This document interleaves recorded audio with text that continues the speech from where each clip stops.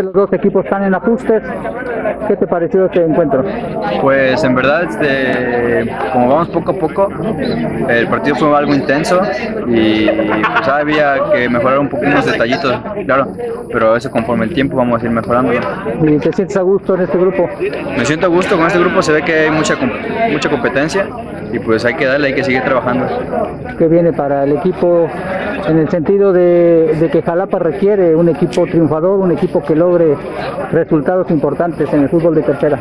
Pues disciplina y constancia. Eso es lo que más va a necesitar uno para poder llegar a ser un, un buen cuadro y un equipo competitivo.